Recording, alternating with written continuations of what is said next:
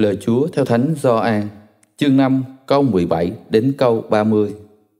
Một hôm Đức Giêsu trả lời cho người Do Thái rằng: Cho đến nay, cha tôi vẫn làm việc thì tôi cũng làm việc. Bởi vậy, người Do Thái càng tìm cách giết Đức Giêsu. Vì không những người phá luật ngày sa bát lại còn nói Thiên Chúa là cha của mình.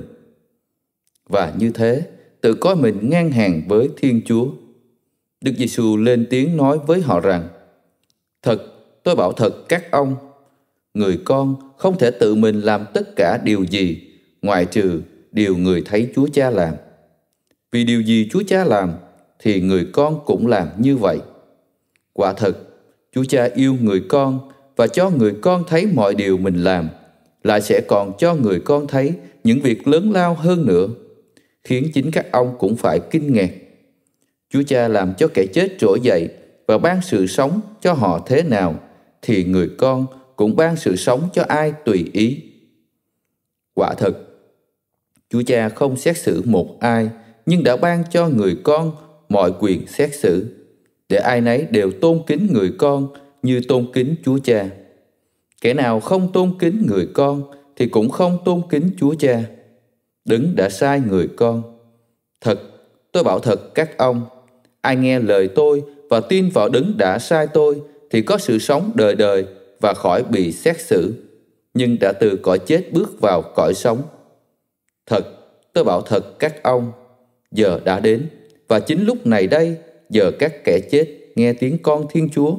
Ai nghe thì sẽ được sống.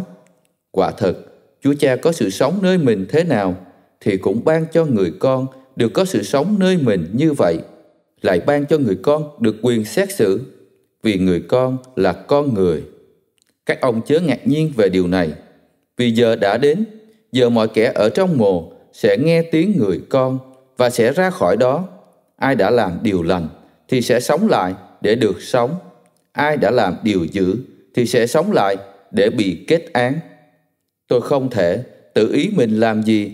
Tôi xét xử theo như tôi được nghe và phán quyết của tôi thật công minh vì tôi không tìm cách làm theo ý riêng tôi, nhưng theo ý đấng đã sai tôi.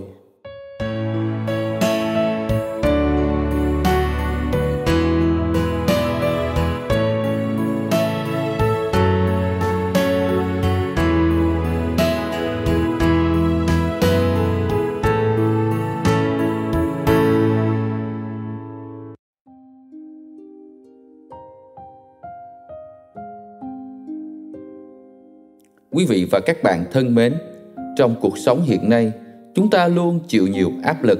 Bởi đó, chúng ta luôn mong muốn có những ngày được tự do để nghỉ ngơi.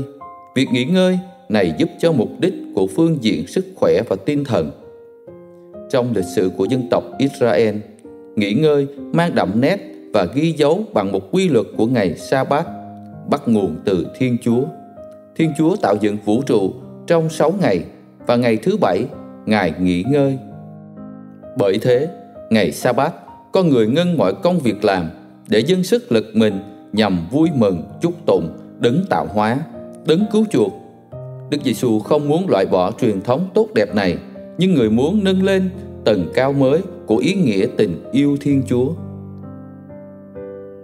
Tin mừng hôm nay trình thuật sự kiện Đức Giêsu chữa một người đau ốm ở bờ hồ nước Bethsaida đã tạo nên sự giận dữ nơi người Do Thái. Họ đã thẳng thắn chống Đức Giêsu về hành động chữa trị này. Nhưng Đức Giêsu vẫn ngang nhiên thực hiện phép lạ vì người muốn cho người Do Thái biết rõ giá trị quy luật của con tim, nghĩa là quy luật của tình yêu và quyền năng của đấng tạo hóa.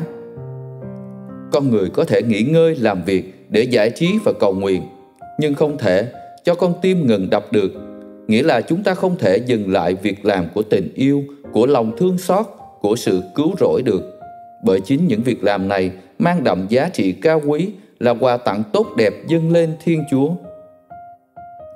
Con đường tình yêu và lòng thương xót của chúa luôn là đỉnh cao, nâng con người chúng ta hướng về nguồn mạch của ơn cứu độ.